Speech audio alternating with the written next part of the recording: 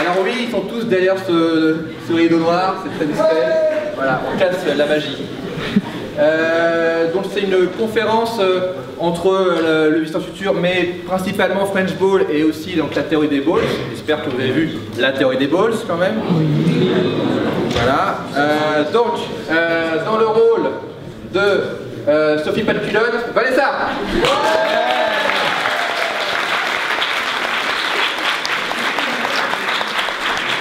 Dans le rôle de Emma, Karine Pantalon.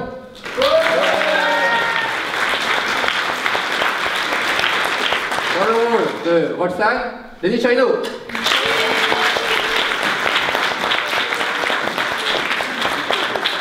Dans le rôle de Stanislas, Florent Dorin.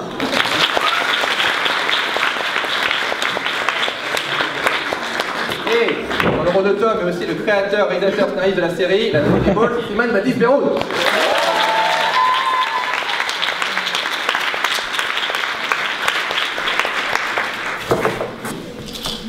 Voilà Donc qu'est-ce qu'on peut dire déjà que ouais, pour nous c'est on approche de la fin de notre année French Ball. Euh, quand on a commencé l'année, euh, vraiment on n'avait pas, euh, enfin on avait un objectif principal, c'était de faire beaucoup de vidéos, essayer de voir si les gens allaient nous suivre euh, ailleurs que sur le Vision Futur, euh, et aussi de montrer qu'on pouvait faire aussi d'autres web-séries. Et euh, au début, fran- franchement, on pensait pas que, on pensait que les sketchs, euh, nos vidéos à la con allaient marcher raisonnablement, et que ça allait être le prétexte pour pouvoir faire financer la théorie des balls. un. On était parti un peu, un peu perdant comme ça, en disant ok, on, fait ça comme ça. Et en fait, on était très content de voir qu'il y a eu plus de gens qu'on pensait en moyenne qui, ont suivi la théorie des balls. Et ça nous a permis de dire ok, finalement, bah voilà, les web-séries, c'est pas mort, c'est toujours euh, en place, c'est même encore plus pertinent maintenant d'en faire. Euh, voilà, on a encore plus d'expertise et, euh, et les gens sont encore plus en attente parce que les sketchs, des très bons ailleurs, etc. Donc voilà, on est très content de pouvoir continuer là-dessus. On espère vous proposer d'autres trucs. Est-ce que vous avez déjà des questions par rapport à l'année qu'on a faite déjà Avant de parler du futur, euh, est-ce que vous avez des questions par rapport au passé, par rapport à cette année-là ou d'autres choses Voilà.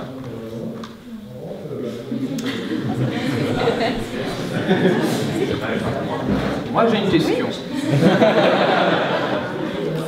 Slim, euh, depuis quand travailles-tu sur la théorie des balls et comment le a-t-il évolué Je peux faire ça pendant une heure, on va les couilles. hein. Euh, S'il vous plaît, posez des questions vite. Ah, une question. Est-ce que vous avez atteint vos objectifs et est-ce que vous êtes content de ce que vous avez fait ce- cette année? C'était ce que vous vouliez faire Oui, vraiment, ça, on voulait vraiment atteindre euh, un nombre d'abonnés. Enfin, arbitrairement, on s'était dit, ah, ce serait bien qu'on ait 300 000 abonnés avant la fin de l'année. Et on les a eu. Donc, euh, ça, c'était notre chiffre euh, de base. Mais au-delà de ça, c'était surtout de, de pou- de- de pouvoir euh, faire fonctionner notre équipe avec euh, les équipes d'Andémol. C'était ça qui était un, un peu l'inconnu pour nous. Et le fait que ce soit très bien passé euh, dans, les deux, camps, on va dire. euh, Genre, c'est même pas des camps, on est vraiment une équipe commune maintenant. Ça, c'est vraiment une, très bonne nouvelle. Donc euh, là-dessus, on est très content. Ouais, c'est un truc qu'on peut redire à chaque fois, c'est que euh, la présence dans des ça peut euh, faire peur à des gens de se dire que voilà, ça devient commercial, que c'est l'image de la télé-réalité, qu'on perd de la liberté artistique. Pas du tout. hein.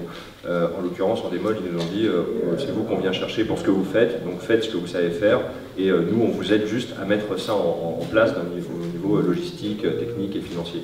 Ceux qui n'ont pas lu, enfin, ils ont lu les scénarios, ils n'ont jamais fait de retour, ils ont vu les montages, mais Ils ont voulu les scénarios, mais ils n'ont pas compris. Vraiment, il y a un mec dans des qui m'a dit je, ne sais pas lire un scénario, donc je verrai les épisodes, mais ça a l'air très bien. Euh, effectivement, après, ils m'ont envoyé des mails, ouais, c'est vrai, c'est bien en fait.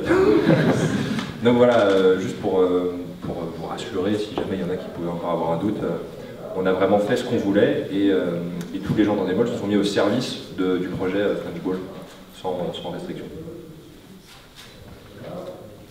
Euh, après les BD, toi, je te vois en ce moment tous les jours. Parce que je suis en train de faire le montage d'Epic Fitness. Et que je te vois. Tu peux dire, c'est parce que je suis noir que vous dites ça parce que je suis noir, vous dites ça? Oui, c'est lui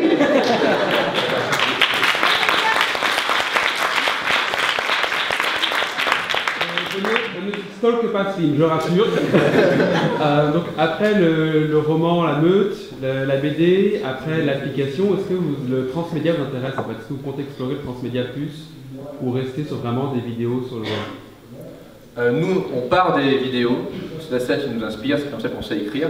Et, mais à chaque fois, des idées peuvent venir soit de nous, soit de gens extérieurs. Par exemple, l'application Bitpoké, c'était venu de, dans des molles, ça non? Ouais. Vois, donc euh, des trucs que nous, on n'aurait pas pensé, et, ça nous intéresse vachement. Euh, pareil, le roman, c'est un... Moi, je voulais toujours faire un roman depuis longtemps, mais c'est vraiment Brajlon qui est venu nous voir et tout, donc on est vachement open par rapport à ça. Euh, donc il y a carrément des trucs possibles. La- série sur laquelle je travaille, la nouvelle série qui a été annoncée à moitié par France 4, est très très transmédia, dans le sens où vraiment pour avoir l'expérience complète de la série, si elle se fait, eh ben, il faudra être à la fois sur euh, à la télé, sur internet et euh, sur application. Et, euh, et c'est- un truc qui m'a vraiment branché de, de construire dès le départ. Parce que souvent on construit la vie de la série, les, épisodes, et après on rajoute des choses. Et là maintenant on commence à, avoir une vraie réflexion transmédia dès le- la base du projet. Et ça, c'est hyper intéressant à faire. Donc euh, voilà, j'espère que si la série se fait, on, on pourra voir ça, mais ça n'empêche pas que pour d'autres projets, euh, on, on y pensera tout le temps, quoi, qu'il arrive. quoi.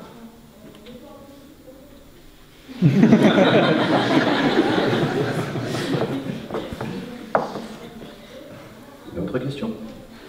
Oui? Alors, en question de planning sur les vidéos, vous aviez un quota de vidéos, genre un rythme de diffusion donné, ou c'est juste quand euh, il y avait une vidéo euh, qui se faisait, ça se Étonnamment, elles se sont toutes faites le jeudi. Euh, hasard. En fait, on était parti en disant, on avait calculé 40 vidéos dans l'année, euh, donc, et tous les jeudis, euh, on avait fait un, un rétro-planning comme ça. Et, euh, vraiment, on, voulait vraiment s'y tenir à fond et tout. euh, euh, et genre vers la moitié de l'année, euh, on commençait vraiment à paniquer, genre ah, putain, est-ce qu'on aura des vidéos, etc. On apprend dans des mois, je dis, ouais, je fais 40 vidéos, oui. Et, alors que nous, on avait, on signé pour 40 vidéos, oui, enfin 40, 40, voilà. Euh, Et après, euh, on a dit à Raph, mais euh, tes speed détectives, c'est deux vidéos en fait. Oui, bon bah voilà, déjà. donc, euh, donc voilà, ça nous a pas mal rassuré de, nous dire que voilà, on on n'avait pas un volume. Chose que d'ailleurs, peut-être que Vanessa peut, peut en parler parce que d'habitude, justement, avec ce genre d'économie, on, on signe pour un volume précis. Et pour Bagel, je sais que, que genre vous étiez obligé de faire tant d'heures, etc. À l'époque, vous étiez en YouTube. Sur, la chaîne Studio Bagel, les deux premières années, on avait effectivement une obligation de nombre de vidéos par YouTube qu'on essayait de contourner en faisant des making-of, des bêtisiers, un peu comme Speed Detective. Oh, ça fait une deuxième vidéo. Moi, la technique que j'ai utilisée sur Bagel en saison 2, c'est. euh, je trouvais qu'il faisait beaucoup. Moi, j'étais à Golden Moustache en première saison. Et faisait Tu peux juste expliquer ce que tu fais ah oui, pardon. Je suis, euh, je suis directrice de production de Studio Bagel. Et euh, avant, j'étais aussi en production sur Golden Moustache en saison 1, avec Suricat, euh, notamment avec Golden Show. Euh, et donc oui, en saison 2, j'avais encore l'obligation euh, d'un nombre de vidéos. Et ce que j'ai fait, c'est qu'en fait, je mettais un making-offer sur chaque tournage. Et au lieu de faire 40 vidéos, justement, je faisais 20 vidéos et 20 making-of. Donc comme ça, je disais à YouTube, c'est bon, j'ai fait le quota. Mais en fait, euh, c'était un peu une manière de récupérer euh, les budgets à ce niveau-là, parce que ça, ça peut vite chiffrer vite, quoi. Ah, elle est pas con, la Bria, hein. Donc voilà, on essaie de faire ce qu'on peut. euh, euh, et là, on, a encore euh, combien de vidéos euh, Une, deux, alors c'est détective, on va dire. On a encore trois vidéos, on va dire, euh, avant la fin de notre année euh, scolaire, euh, euh, avant la fin de l'année, avant qu'on puisse euh, partir, en- pas en vacances, puisque chacun va faire plein de trucs euh, pendant l'été. Voilà. D'autres questions? Yes? Justement, qu'est-ce que vous allez faire tous dans cet été, euh, un projet d'hiver On va tous chez toi. Euh, on va commencer par Slim, c'est intéressant. Alors, moi je vais euh, m'essayer au théâtre pour la première fois. Donc dans une pièce euh, qui est euh, mise en scène par Stanislas Gratian, que vous connaissez comme Dario Lombardi dans le, dans le Visiteur. Et donc je vais faire le festival d'Avignon, donc première expérience au théâtre, direct à Avignon, euh, tout, le, tout le mois de juillet. Et après, ben, je verrai déjà si je survis à ça, si je ferai peut-être d'autres projets dans l'année. Moi, je compte euh, faire du golf euh, chez Florent dans sa maison de vacances. Euh, je- J'attends de voir ce qu'il va me dire. Bah, moi, je compte te battre euh, quand même. Et euh, je reprendrai en fin août euh, très certainement des répétitions euh, avec une fille qui s'appelle Pauline Bale, une copine que, que j'ai rencontrée au conservatoire. J'avais travaillé sur elle l'année dernière sur un projet qui s'appelait À l'ouest des personnages. Ah sur- oui, travailler sur elle. J'ai travaillé sur moi. J'ai travaillé sur moi. Et, euh, et bon voilà, non mais c'est vrai que c'est une grande histoire avec Pauline. Et, et donc voilà, ce serait un projet euh, qui, qui parlerait de l'Iliade. Voilà, donc, euh, donc, euh, beaucoup de travail, ça, ça va être certainement très sympa. Et puis je collabore en ce moment avec Martin Ballement, qui est le compositeur notamment de la, de la musique de la théorie des balls. Donc Martin, il, est aussi, il fait aussi de la musique. Enfin bon bref voilà, donc je prépare des nouvelles chansons avec lui, euh, donc euh, je sais pas, j'ai plus rien annoncé de, date de sortie ni quoi que ce soit, ça, ça, ça fait son chemin gentiment, mais ça va, je crois que ça va être euh, vraiment cool, enfin je suis très content de ce qui se passe. Voilà. Eh bien, de mon côté, je suis aussi au théâtre, euh, également dans une pièce mise en scène par Stanislas Gracian. C'est incroyable. Mais pas la même que Sylvie. Et du coup, euh, le jour de relâche de Milreba, euh, on va présenter donc euh, Résistante, la pièce, le 20 juillet à Avignon. Voilà, donc pour l'actualité théâtre. Et par ailleurs, je ne sais pas si vous connaissez les chroniques écologiques du professeur Feuillage. Bon, voilà, il y a eu moult rebondissements. Et on va lancer en fait un appel aux dons pour euh, pouvoir tourner trois nouveaux épisodes. Donc euh, il y a trois, trois épisodes en écriture qui sont, qui sont géniaux et on compte sur vous pour que l'aventure continue. Voilà. On lance ça, c'est imminent, là c'est dans entre 5 et 10 jours, on va, vous, serez, vous serez très vite au courant. Voilà. Et ben moi cet été, euh, normalement, euh, un tournage de long métrage que j'ai écrit avec un ami réalisateur qui avait déjà fait euh, un film. Voilà, on, est, on a une production, mais on est quand même assez free, donc a priori ça serait en août. Après, il n'y a pas de date vraiment définie, et puis voilà, je- tant que rien n'est sûr, sûr, sûr, j'en parle pas trop. Voilà. Euh, moi, qu'est-ce que. Alors cet été, je vais dormir déjà. Je vais faire trois semaines de break, ça sera pas mal. Et sinon, vous allez pouvoir retrouver mon spectacle de jonglage au festival de Saint-Jean-Joseph. Une pièce euh, un peu contemporaine, euh, vraiment, j'ai vraiment hâte de vous présenter ça parce que j'ai travaillé avec des grands compositeurs et ça fait vraiment beaucoup de temps que je travaille dessus. Voilà, ça va être super. Euh, J'ai oublié de vous dire, mais bon, j'ai les dates exactement, mais euh, pour tout ce qui est. Il y a des gens de Lyon ici, hein, ça? Ouais, on se rend dédicace à Lyon euh, pour la meute quand il sortira vraiment papier, le 21 juin, je crois.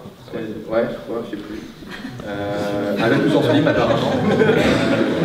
Et, euh, et on, on Lim et François. 21 juin, c'est sûr, à Lyon. Et le 24, alors je- ça ne fiche pas. Bon, ouais. Peut-être on sera à Lille, voilà. voilà. On vous dira, hein. on vous dira quand même, hein, on va pas. Euh, donc voilà, le, le- comme le, le roman La Meute sort enfin en, en papier, puisqu'il y a beaucoup, il a bien, bien marché en numérique, c'était un peu notre, aussi notre objectif de l'année. En parallèle euh, de French Ball, c'était de, de sortir euh, par, par épisode un, un roman, euh, sachant qu'on n'avait jamais fait, sachant que notre public, on ne savait pas à quel point euh, vous savez lire, on ne sait pas. enfin, on se rend pas compte, hein. voilà. Et en fait, ben, vous savez lire, c'est trop bien, et en plus vous nous avez bien soutenu euh, en achetant le livre euh, sur internet. Donc on a la chance d'avoir une édition euh, papier qui va sortir. Euh, Il y a, en fait, y a même deux façons de l'avoir, le bouquin. Euh, c'est important à savoir, euh, puisqu'il y aura l'édition normale euh, avec la nouvelle jaquette, et vous pouvez aussi le commander euh, à la demande, si vous voulez l'édition euh, l'édition en ligne en papier. Vous voyez le truc Donc euh, qu'en gros, parce que c'est pas la même couverture. Voilà. Euh, donc ça- vous, aurez le, choix. Mais bon, dans l'édition normale qui va sortir, il y a un chapitre bonus qui à la base devait être juste un petit chapitre, et qui s'est transformé pratiquement en épisode bonus. Et, est-ce que ça vous intéresse? Si vous, vous dites non et on, et on passe à autre chose, d'entendre le début de ce chapitre bonus Oui allez être- on qu'ils sont obligés. Bon. Allez. Parce que c'est pas tout le temps qu'on a l'occasion de- d'entendre la voix de Slim. Quand vous le lisez, vous, vous entendez la voix de Slim dans votre tête. ben là, elle sera là pour de vrai. Tu prends un extrait ou tu prends... Je prends un extrait. D'accord, ok. Je vais pas tout spoiler non plus. Juste, qui a lu le roman La Meute? Ok. Bon. Ok, on parle d'un personnage très secondaire dans La Meute. Il y a des gens qui ont des doutes. Freddy Castafolt n'avait jamais été un bon garçon de ferme. En réalité, il n'avait jamais été un bon garçon non plus, ni même un garçon. Freddy Castafolt avait toujours été un robot, comme tous les Castafolt. Il avait été livré à la petite exploitation agricole de la famille Barderon au début du 22e siècle, lors de la grande promotion à moins 20%. Sautant de joie comme sur l'aubaine, Denis Barderon avait réalisé une bonne affaire compte tenu de la conjoncture. Il attendait beaucoup de cet investissement, qui restait coquet malgré tout. Ce petit, c'est une coquette somme malgré tout, aimait-il à répéter, avant de partir d'un rire gras et stéréotypé. Ses compagnons de soirée, tout aussi champêtres et avinés, brisaient alors les bouteilles qu'ils tenaient en main, grisées par la plaisanterie. Sur leur ventre ou leur visage, l'endroit importait peu, l'histoire n'étant pas très sûre de la véracité des événements. Freddy avait donc goûté pour la première fois le 25 décembre 2132. Il se souvenait très précisément de ce matin-là. Techniquement, Freddy s'en souvenait en Full HD. Pour Denis Barderon, le père, c'était également un bon souvenir. Peut-être pas le meilleur, mais très certainement dans le top 3. Le top 3 des meilleurs souvenirs de Denis Barderon n'avait jamais été composé jusque-là que d'événements liés à Francis Cabrel. Pour la première fois, Noël, expérience familiale par excellence, devenait un bon souvenir. Cette entrée fracassante dans le panthéon des bons souvenirs de Denis Barderon avait non seulement dû surprendre jusqu'à Cabrel lui-même, probablement persuadé d'être hors de danger depuis longtemps, mais surtout fait marrer les oiseaux qui s'envolent. Il faut connaître les textes de Francis Cabrel. faut avoir lu La.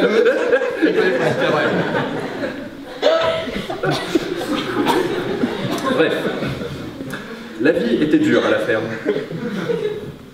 Bien sûr, donc on parle de Freddy, hein, je vous ai fait une ellipse. Bien sûr, il donnait de l'amour aux poules sous forme de grains, aux vaches à grands coups d'aller-et-vient sur les pies, à sa famille enfin en leur permettant de faire les grasses matinées à peu près tous les jours de la semaine. Pourtant, Freddy sentait qu'il n'était pas à sa place. Sa vie ne prenait pas la tournure qu'il espérait et il ne pouvait lutter contre un profond sentiment de désespoir. Les seuls instants de joie, ses seuls instants de joie étaient lorsque, à l'abri des regards, il effectuait quelques pas de danse en lançant le grain au gallinacé. Il se surprenait à mimer les déhanchés des chanteurs antiques de l'ère disco qu'il avait découvert sur des jaquettes de disques laser au grenier. Il n'avait pas bien compris ce que ces disques avaient eu de laser, totalement conquis par les habits de lumière de ces artistes d'un autre siècle. Ces pantalons moulants aux extrémités évasées, ces débardeurs scintillants s'arrêtant au-dessus du nombril, ces casquettes de cuir brillants, tout cela avait suscité chez lui une émotion profonde, ainsi que chez François.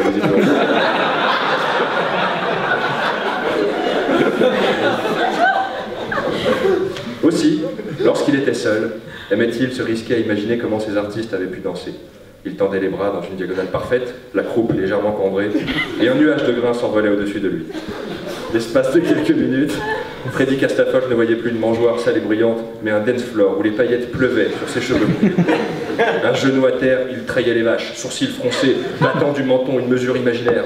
Il se voyait portant veste de cuir et moustache, dispensant de généreuses claques sur les postérieurs bovins étonnés.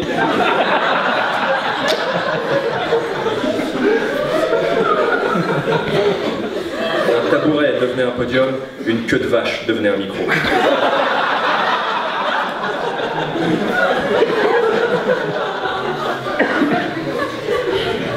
Un jour, son père avait débarqué sans prévenir tandis qu'il terminait un solo à Califourchon sur la clôture des vaches.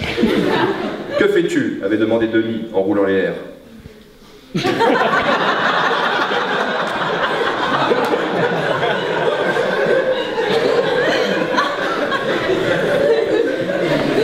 Je donne à manger aux vaches, avait bredouillé Freddy en descendant de son perchoir. Plutôt ça, avait rétorqué son père avant de lui faire parvenir une paume de main calleuse et rustique en plein visage.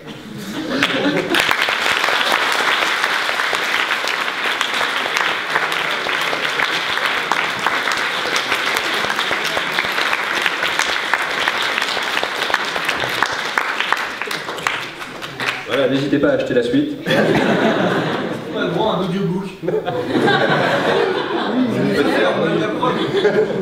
Je crois que Brajlon, euh, assez intéressés, mais je crois que c'est cher à faire pour eux. Donc euh, peut-être si vous, vous envoyez des mails et tout. Vous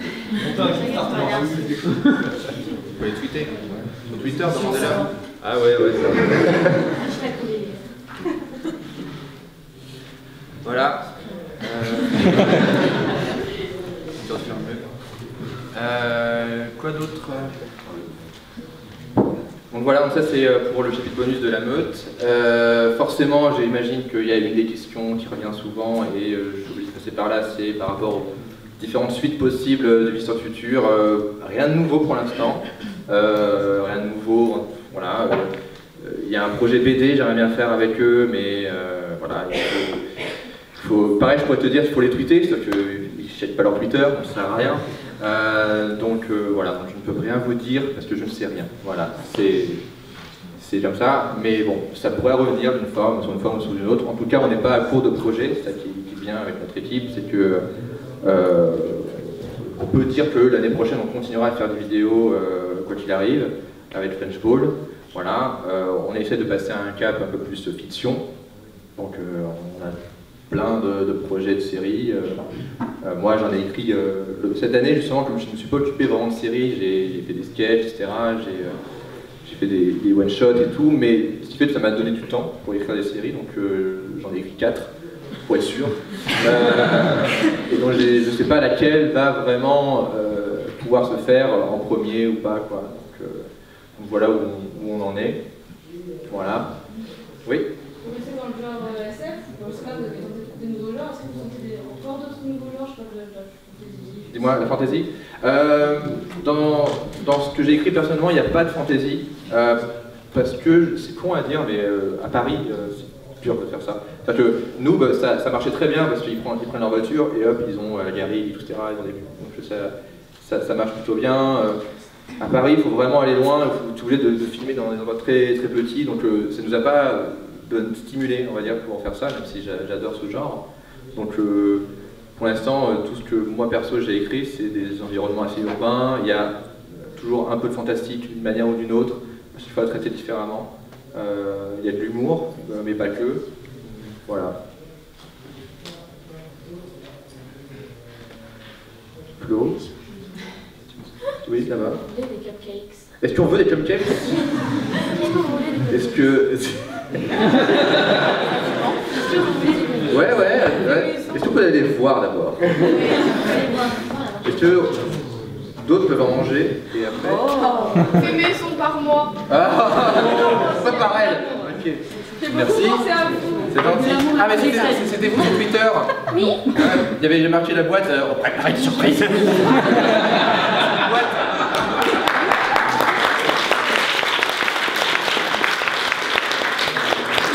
Bah, en fait, j'en prendrai après, mais on va manger, euh, on va pas manger. Donc il vaut mieux en prendre en fait, parce que nous on n'aura pas de pause repas. De toute façon on n'a pas le choix. Ça va? T'as pris combien de temps? On essaye de pas s'en foutre de partout. Je sais pas. D'accord, les copains On va essayer. 15 minutes à faire? Pas pas D'accord. Merci. Merci. Merci beaucoup. Merci. C'est deux minutes. N'hésite pas à faire passer aux autres aussi. hein. Il en reste 4. Là-bas, là-bas, il y a des gens qui en veulent. Ah oui, il y a des gens. Oui. Bah, merci pour les cupcakes. Est-ce que vous avez d'autres cadeaux, d'autres offrandes Sacrifice. C'est tout. En retour qualité Sur la cuisine.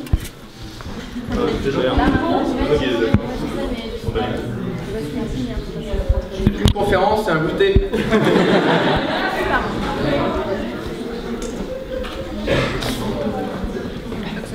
Tu sont là-bas À part si j'ai parlé en dessus de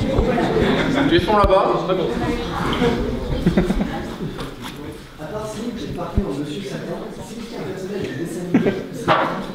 Alors c'est en rapport avec le sketch Les Sidekicks. Je sais pas si vous l'avez vu. C'est un sketch qu'on a écrit en partant du principe que Sim allait faire l'histoire Satan.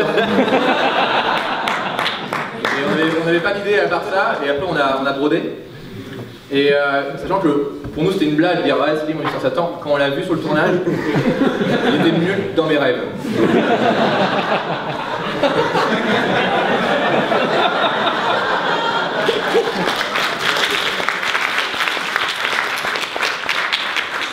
Euh, je sais que Raph était extrêmement. En fait, j'expliquais à Raph, ouais, voilà, c'est les sidekicks, on voit pas les personnages. Euh... Donc, il ouais, ouais, je ressemble beaucoup. Je fais, bah non et euh, donc il a fait, ah ok, pas pareil. Et en fait, bon, balance. Mais en gros, à un moment, je le vois débarquer sur le tournage. En fait, il ne devait pas avoir le costume de Sangoku. Et je le vois avec le costume de Yamcha, qui est en fait le- la même combinaison euh, de Sangoku. Et je le vois comme ça. Et il dit, ah, vous pouvez me prendre en photo. Et il s'est fait un shooting perso. en mode, ah, ouais, je suis Sangoku. Et je lui dis, mais tu sais, c'est pas dans ça. Je dis, non, mais c'est pour moi et tout. Il y a peut-être des délires après. euh. Mais ouais, c'était plutôt marrant à faire. Toi, t'étais content de faire Yamcha Bah, J'étais content jusqu'au moment où tu m'as dit que qu'on me reconnaîtrait pas. Parce que euh, moi, euh, quand t'as dit, euh, quand t'as envoyé les persos, j'ai dit tout de suite, ah, je vais faire Yamcha Parce que dans mon souvenir, Yamcha est trop stylé. Et puis après, on est arrivé, je suis, arrivé sur le elle a dit, mais, tu, mais tu, fais Yamcha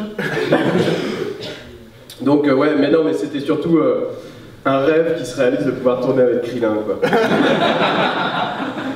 Parce que moi je voulais pas faire Krillin, mais euh, j'ai trouvé euh, un partenaire de génie euh, dans la personne de Mathieu Koji pour faire euh, ce personnage si, si particulier. Une pensée. Et après, Et, et vous, c'était. à savoir qui c'est qui. Bah oui, mais je sais même plus. Je sais même plus qui j'étais, en quelle, sailor j'étais. C'est parce que ça a changé. Mars, c'est la brune. Ouais. Voilà. Saturne, je crois. Voilà. Non, Non? Vénus. La blonde aux cheveux. Qui ressemble à Sailor Moon, qui est pas Sailor Moon C'est Vénus. C'est Vénus. Voilà, bah, j'étais Vénus. Sinon, j'aimerais bien Denver. Voilà.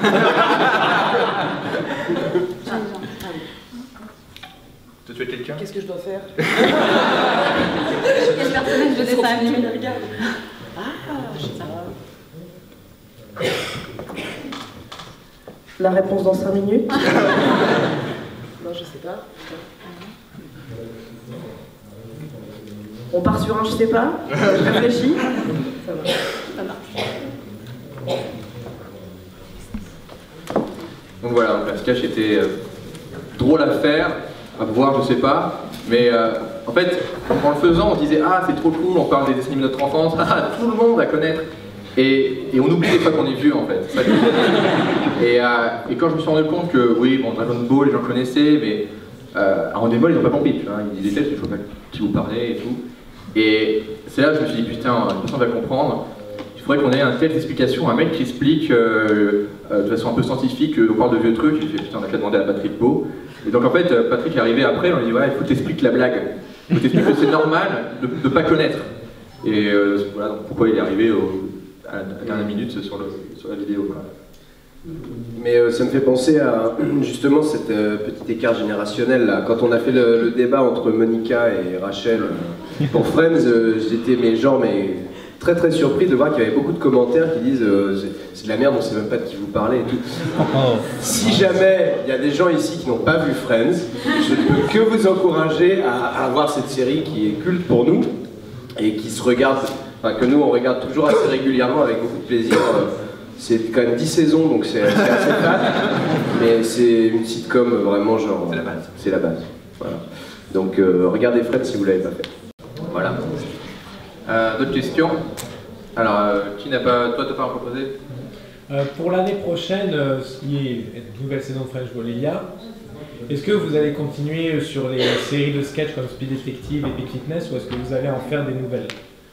C'est ça qui est cool avec euh, French Ball, c'est qu'on on fait vraiment en fonction de ce qu'on a envie de faire. On va à ce moment-là. Je peux pas parler à la place de Raph, c'est Raph qui fait euh, Speed Detective. Euh, et il a déjà il a un, épisode final qui est vraiment très très très bon. euh, voilà. Et je sais pas si l'année prochaine il aura le temps ou l'envie d'en faire d'autres. Et puis de fitness, ça c'est plutôt slim de dire. Tout reste ouvert. Tout reste ouvert. Moi j'aime bien, euh, j'aime beaucoup le personnage de, de Mathieu dans Epic Fitness, que je trouve encore mieux que Mathieu dans la vie. Et, euh, du coup, ça me fait plaisir de le revoir. Mais, euh, ouais. Mais je sais pas sous quelle forme. C'est-à-dire qu'on peut complètement euh, changer le- le- la, la forme de la vidéo. C'est pas parce que c'est peut-être plus du fitness, je sais pas. Mais voilà, j'ai un truc à faire. De l'épique en tout cas. Mais ça restera épique, ça c'est. Et raciste.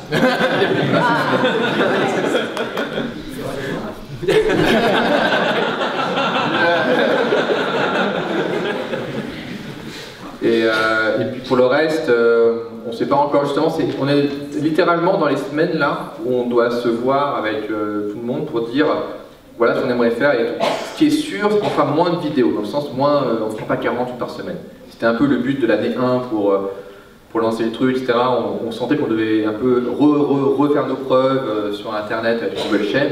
Là maintenant, on veut vraiment se concentrer sur les trucs qu'on on sait que ce sera béton. Quoi. Euh, donc il y aura des trucs qui vont pas forcément revenir, euh. Euh, moi, je suis toujours content de pouvoir qu'il y ait des quiz.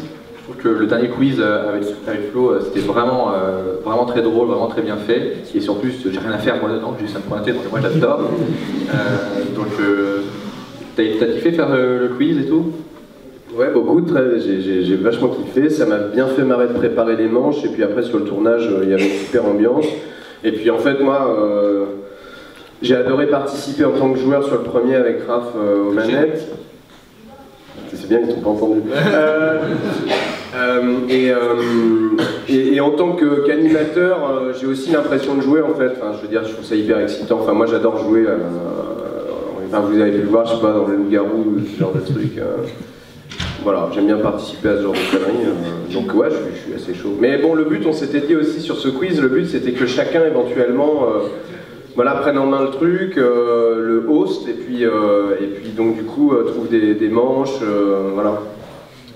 Voilà, Raph, quand il a amené, quand il a proposé ce concept-là, il a dit, genre, le but, c'est de, faire en sorte que chacun puisse se l'approprier et puis que ça ait une, même, comment dire, une, une- image, voilà, singulière à chaque fois. Euh, je tiens à dire que nous avons des filles à notre gauche euh, qui sont intéressantes et qui peuvent parler de trucs intéressants. Euh, si vous avez des questions, euh, n'hésitez pas. Donc, euh, entre Vanessa, Karine et Lénie. Je sais que Lénie a quelque chose euh, à dire, donc on va peut-être commencer par elle. Elle a déjà dit? T'as déjà dit? Tu n'écoutes pas Mais dis vraiment euh, où les gens et tout, t'as fait la promo et tout, des trucs J'aurais dit qu'il y avait un, un, un crowdfunding qui allait être lancé pour le professeur Feuillage. Euh, ce sera à partir de 1 euro, donc euh, voilà, pour toutes les bourses. Et si vous ne pouvez pas donner, vous serez encouragé à partager, à partager à mort. Parce qu'il faut absolument euh, qu'on tourne ces trois épisodes, d'autant que cette année, il y a un événement très important autour du climat, c'est la COP21. Je ne sais pas si vous connaissez euh, cet événement, mais en tout cas, vous serez très très informés parce que ça va être très relayé par les médias. Donc c'est vraiment l'année où il faut sensibiliser les gens à l'environnement et aux problématiques environnementales. Donc aidez-nous. Et puis en plus, vous aurez vraiment beaucoup beaucoup de super blagues. Donc euh, voilà. Des blagues de cul, mais pas que. Voilà. euh, donc euh, des blagues à la professeur Feuillage, le, le point levé et un doigt dans le cul, Lulu. voilà, voilà. on compte sur vous parce qu'on n'a plus de sous. Du tout. Du tout. Voilà. Voilà. ça- Sur Ulule. Compris Sur Kiss Kiss Bang Bang. Kiss Kiss Bang Bang, pardon. Merci François. Et puis, ça bientôt là, donc euh, très pertinent. Toi, t'es chaud, toi derrière, je te vois là. C'est- T'es pas sûr de pertinent, il avoue. Mais t'es chaud en même temps. Doran peut s'expliquer sur sa tricherie dans le premier Ah. Euh, euh, je, non, je, je, non, je n'ai rien à déclarer là-dessus. Moi, je suis déjà déclaré là-dessus. Euh, ce qui se passe, c'est que quand on joue euh, au, au quiz, euh, souvent euh, le- celui qui host, celui qui le maître du jeu, il a des feuilles et il doit montrer très vite, euh, bah, c'est une police d'écriture. Et euh, la blague, c'est que c'est faut reconnaître la police d'écriture d'un film, d'une série, d'un jeu vidéo. Et l'erreur que faisait euh, peut-être Raph au début, etc., c'était de.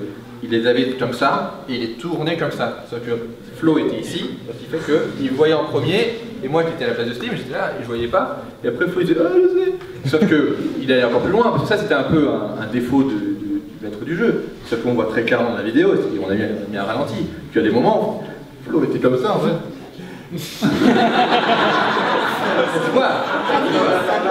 Non, non, je, je, j'aime, certes j'aime bien gagner, mais ça me dérange pas de perdre, mais je ne suis pas un tricheur, ou si je le suis, c'est malgré moi, et je, et je- et je vois quelqu'un pour ça, d'accord? Donc euh, j'y travaille, je travaille dessus, ok? Voilà. Mais euh, c'est de la faute de Raph. Vas-y, Mathias. J'ai une question sur les grands débats. Euh, est-ce que vous allez refaire des grands débats en ligne Et est-ce que vous faites des grands débats bourrés comme euh, en équipe, on n'en on en fera plus parce que ça a cassé le. le ça faisait trop, ouais, l'amitié déjà, ça faisait trop euh, organisé. Alors que l'intérêt d'un grand débat, c'est qu'on a l'impression que c'est pas organisé. Et c'est un peu vrai. Donc, euh, réponds à l'autre partie de la question. Bah, déjà, c'est touchant qu'il y ait des gens qui repèrent ça, qui nous connaissent si bien, qui arrivent à voir quand on est bourré ou quand on ne l'est pas. Euh, non, mais euh, en fait, c'est pas, c'est pas qu'on est bourré, qu'on est. Enfin, je veux dire, non. On prend l'apéro et je pense qu'avec l'âge, on tient mieux. On est, on est un peu plus daron, tu vois. Je veux dire, on sait mieux se tenir, etc. Tu vois. Donc voilà, mais au final, on, on est toujours. euh, Enfin, euh, ouais, le rituel de tournage reste le même.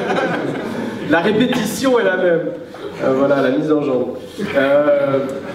Mais euh, non, mais il, reste, il y, avait un débat de, c'était externe contre Ah pensionnaires qui. Je sais pas, quel- ouais. Il y en a, peut-être un débat fantôme. Peut-être un débat fantôme. Un débat peut-être sera en mode bonus pour les conventions. euh, voilà. Ouais. Euh, voilà, parce qu'en gros, là, on arrive à cours de vidéo. Et euh, il y a un dernier débat que je n'ai pas monté encore. Je sais pas si j'aurai le temps à la fin de l'année. J'espère le faire à un moment. Et peut-être le garder en exclu pour des moments comme ça. Quoi. Et c'est un thème, je pense, que tout le monde connaît. À part si euh, on jamais- gens n'ont pas été- n'ont pas été à l'école. à part si on n'est pas allé à l'école.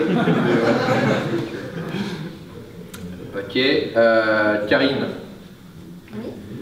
Tu étais très intimidée. C'était ta première conférence. Comment c'est passé Écoute, ça va. Ça va hein? Moi, je t'ai laissé parler. D'accord. Parce que juste avant, je lui ai fait croire qu'elle avait 20 minutes à Non, être mais toute j'ai seule. pas cru du tout. D'accord, tu tournes quoi en ce moment Parce que t'as as appris à te battre avec des armes à feu, je crois. Ouais, j'ai fait un super training euh, avec un mec de la BAC et avec euh, pas mal de policiers euh, pour un pilote. Prison, en fait, c'est ça une- Bah, je, je sors de tôle, d'ailleurs je vais retourner après.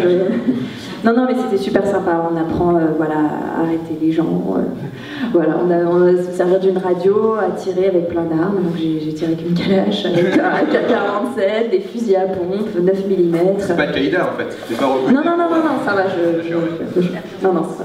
Mais euh, non, c'est super intéressant. Donc, c'est pour un pilote de série télé. euh, voilà, donc euh, du coup, bah, pour être le plus crédible possible quand on a un rôle de flic, c'est qu'on suit la formation et, et voilà, c'est- génial, c'est passionnant. Et t'as croisé qui le- qu'on connaît là-bas? Ah, ben, Pascal. Pascal Hello Avec Pascal, ouais, ouais. Et tu l'as battu? Ah, putain, si- il, va, il va- il va me pourrir si je Ouais, ouais. j'ai- mis la misère, quoi. C'est tout ce qu'on voulait Ouais. savoir. Non, il, il tire autour de la cible. Moi, j'imagine Pascal qui tire, il doit tirer comme ça. Mais en fait, tu peux pas faire trop. tu peux pas faire trop freestyle parce que les flics ils sont vraiment au carré quoi. Donc t'es chronométré, il faut allez là, allez là. Tu, tu vois, t'es t'es quand même vachement impressionné. Tu te dis que tu peux pas trop déconner quoi. C'est quand même des vraies armes à feu. On a beau avoir un gilet pare-balles, tu vois, euh, t'as quand même les bras, les jambes, tout, tout qui est pas protégé quoi. Donc euh, faut quand même faire gaffe quoi. D'accord. Voilà. Bon, je ne ferai pas du tir à côté de Florent, c'est ça que tu veux dire? C'est lui qui dit ça pour faire un petit euh, retour sur le golf, justement. Je sais pas, bon, certains qui en ont déjà fait. François, c'est le seul mec qui est pas capable de tirer au practice dans une balle. Vous savez, au practice, c'est là où il y a le grand champ pour s'entraîner avec les balles et tout. Fran- François, il prend son club, il se met euh, là pour taper dans la balle. Et on est sous une petite cahute en bois, vous voyez, pour protéger de la pluie ou quoi. Et puis, bon, son truc, il tape comme un bourrin, mais ouf, pour qu'elle parte là-bas. Mais la balle, elle reste dans le truc, ça fait. On a tous failli mourir. Donc, euh,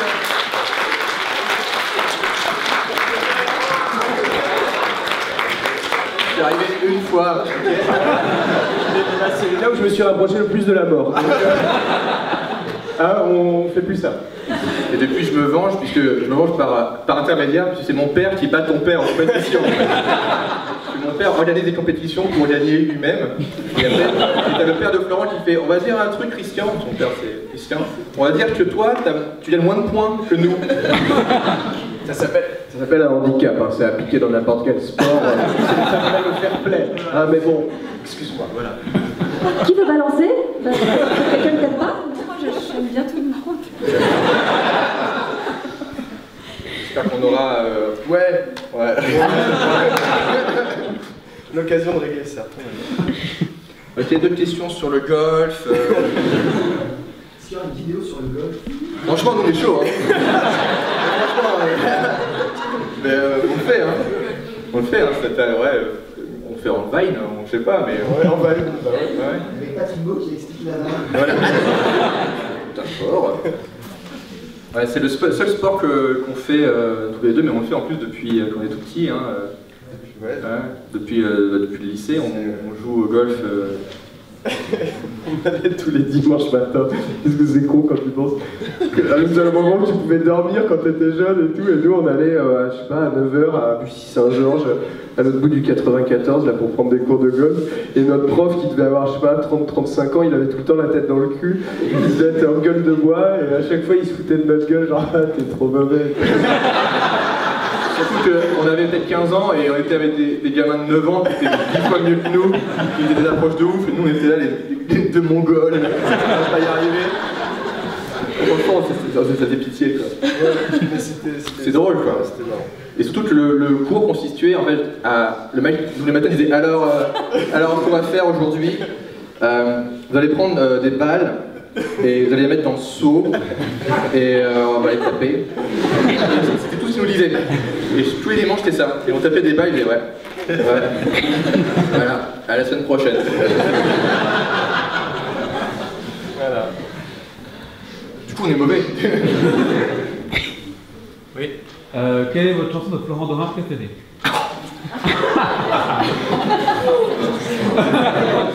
Bonne question, c'est dommage que Mathieu ne soit pas là, parce que je c'est ce qu'il répondrait. Euh, bah moi, forcément, euh, historiquement, Little Bit Longer, c'est celle qui a un peu lancé pas mal de, choses, euh, puisque c'est celle que j'avais entendue quand on était en vacances à Saint-Jacques, dans le Mobilo, etc. Et j'ai dit, tiens, on a qu'à faire une vidéo. Et... Donc pour moi, elle a vachement de sens, cette, cette chanson, même si ce qui me fait marrer, c'est qu'à chaque fois qu'après, il m'explique comment... Enfin, moi, j'ai... J'ai une, une version de la chanson dans ma tête, il m'explique d'où vient la chanson, ça n'a rien à voir. Ça parle souvent de meufs euh, qui, à qui, qui s'est pris des vents, et tout, etc. Euh, qui traitent de pute mais qui respectent. Il y, a, il y a- il y a toujours un, un sous-texte euh, qu'on peut s'approprier. Et déjà, je sais qu'il y a des gens qui se tatouent les paroles de Florent Dorin. Sur soi, c'est devenu, euh, on va dire, une sorte de mode, hein, même, on va dire. Il faut bien choisir euh, les paroles. hein. D'accord? Ok? Hein, Je sais que. Non? Je sais que. Oui, voilà. Et euh, toi, Slim, quelle est ta chanson, Florent préférée Euh, moi je pense que c'est Inside My Heart. C'est comme ça qu'elle s'appelle. hein Ouais. Déjà parce que je la trouve super stylée, et en plus parce qu'elle m'évoque des très bons souvenirs quand on l'avait chanté tous ensemble euh, à Japan Expo, où on faisait les chœurs euh, la dernière fois. Voilà. Très bien. Vous avez des chansons Florent préférées Ou celles que vous détestez peut-être On les aime toutes. On les aime toutes. hein. Bientôt de nouvelles chansons, on espère. Ouais. En fait, il y a un truc que je pourrais mettre en ligne, c'est que quand on a fait la chanson des vrais gens, il y, a- il y avait euh, peut-être deux minutes d'intro où Florent expliquait ses chansons. Et c'était pour moi c'était hilarant, mais c'était deux minutes où il expliquait euh, Ouais, en fait, cette chanson je l'ai écrite euh, bah, parce que euh, à ce moment-là je pensais que les filles c'était des, des grosses putes. et, et- et- et en parallèle on le voit. Et donc, euh, c'était pour moi le truc le plus drôle que j'avais vu, mais c'était très euh, private et ça, on n'était pas encore dans la partie où il allait chanter dans la rue. Il part, j'ai jamais dit que les filles c'était des grosses putes. hein. Donc, euh, donc cette partie-là, j'aimerais bien retrouver cette partie-là. là. Je sais pas si c'est bien la mettre en ligne pour ta carrière. Non, non, non. On mettra plus en convention aux gens qui... Non, même pas. Même pas. D'accord. D'autres questions Vous avez tous faim, c'est ça Bon, bah écoutez les gars, je peux rien faire pour vous. Hein. Euh, 5 minutes, c'est ça Reste du temps Et Lily, Karine, Vanessa, vous jouez au golf aussi Qui joue au golf ici?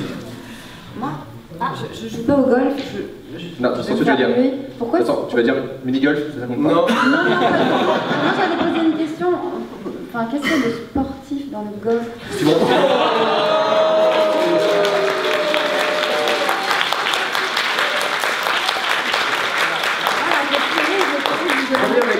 Première réponse. Tu sais que euh, dès que tu. Là, attention, j'extrapole. À part la compétition, dès que tu atteins un niveau dans le sport, que- la seule différence après, c'est le mental. C'est vrai, c'est vrai ou pas? Je veux dire, à deux judokas qui vont être genre à puissance physique égale, à technique égale, etc. Ce qui se passe, c'est là. D'accord? Ok, le golf, c'est tout là. D'accord, voilà, merci. Qu'est-ce qu'il y a? Qu'est-ce qu'il y a? C'est- Dans ma famille, c'est plus une deuxième religion, on va dire. C'est vraiment euh, ouais, un- une activité. euh, enfin, mon père, euh, du travail, qui est médecin, a pris euh, deux jours de congé par semaine pour faire du golf. Parce qu'il a atteint un stade où il se dit je donne assez ma vie pour faire du golf deux fois par semaine. Je peux pas jouer golf. Mais même quand il pleut, quand il neige, il y va quoi. Donc, euh, et, et il parle tout le temps de ça, et, euh, et c'est même comme ça qu'il a eu. C'est-à-dire que tu, vas voir, en YouTube, en place YouTube, tu vas regretter ce que tu viens de dire. Mon père, il fait du golf. Il a, il a une association de golf. Un jour, son association lui dit Hé, il y a un tournage avec Pierce Brosnan et Juliette Binoche, ils ont de figurants qui font du golf derrière en- dans le flou. Il a fait Ok. Il est dans un film avec Pierce Brosnan et Juliette Binoche, et il- non, pas Juliette Binoche, c'était euh, Christine et il joue au golf derrière. Il fait du golf derrière. Ok. Et on voit que lui. Et après, t'as quelqu'un qui est sur le tournage qui lui dit Hé, vous êtes euh, figurant, vous faites ça souvent Il fait Non. Et il fait Ah putain, on a peut-être besoin de vous. Et là, il joue dans Mafiosa. Et donc, il arrive dans Mafiosa, et il fait pas du golf, on lui, on lui Tiens, je joue au kart, il fait Ok, je joue au kart. Et ça fait chier à chaque fois en fait, parce que fait ça, il, a- il est censé sauver des vies. Hein. Et après, t'as la meuf de c'est, je crois que c'est- c'est Europacor qui fait On a besoin de toi pour un truc. Il fait quoi? Oh, C'est le prochain Besson Scarlett Johansson. Donc, mon père, on lui fait, il m'a dit ça, je dis Papa, c'est une blague, tu vas pas tourner avec Scarlett Johansson. Il fait Bah, je crois.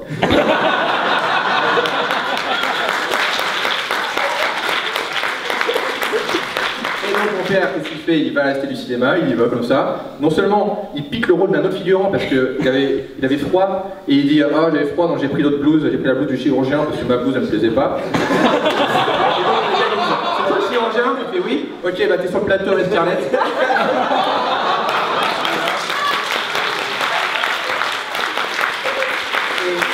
Et il y va, il tourne les scènes.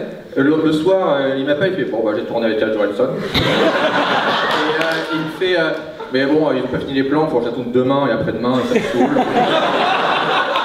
il, a trois jours, il passe trois jours avec Besson et Jack Johansson à faire des blagues et tout ce terrain, tu vois. C'est que mon père, c'est le mec le moins à l'aise devant une caméra, tu vois, il faut comme ça, alors. Et donc il tourne, il tourne la scène où euh, dans le film, c'est en Lucie, euh, genre euh, en fait il double le, le- le médecin. quand le médecin a un masque, c'est celui qui, qui opère Lucie, et bah, c'est, lui quoi. Parce qu'il a les yeux un peu chinois. Donc il fait le truc comme ça pendant trois jours et après on lui dit Ah mais vous êtes médecin en plus. En plus il critique l'endroit, il fait Ça c'est pas logique ça. ça, machine elle est pas censée faire ça. Et donc les gens ils font Ah ça marche pas Ok ben on va te mettre comme conseiller euh, technique sur le prochain euh, remake de Rosemary's Baby avec euh, Zoé Saldana et tout. Il, arrive sur un tournage après, il dit Oh la machine elle va là, ça ça va là. Et il du matos, il dit Oh, vous avez besoin de Bon, on a besoin de tout ça, voilà. Et là c'est, pas encore sorti, donc Rosemary's Baby, qui va être une série, je c'est HBO en plus, voilà. Et sachant mon père, ça le saoule, parce qu'en fait, il dit Putain mais figurant, c'est mal payé hein. Tu vois tout ça grâce au golf. Vive le golf, j'avais pas vu les choses sous cet angle.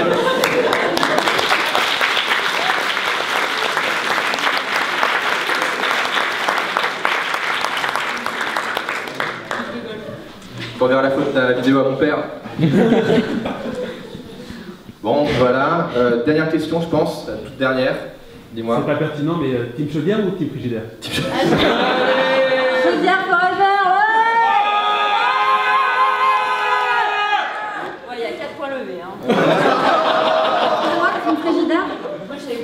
Voilà. J'adore tes cupcakes. Moi, j'ai juste rajouté de l'amour. Je me suis dit de l'amour. Euh, on parle. euh, C'est le meilleur truc. Oui, bah, peut-être, ouais. Ouais, c'est bien de l'amour qu'il y a dessus. C'est de secret maintenant, vous savez quoi rajouter sur le cupcake. Bon, bah merci beaucoup. Euh, on est en dédicace euh, dans 10 minutes, je crois. Euh, au truc officiel, je sais pas du tout comment ça fonctionne, je sais pas s'il faut des tickets ou pas, etc. Euh, moi, après à 15h, je suis au Bad Game dans la grande salle, je sais pas du tout ce que je vais faire. Et à 17h, il y a une autre dédicace pareil au truc officiel euh, avec le police. On vous remercie beaucoup. Salut.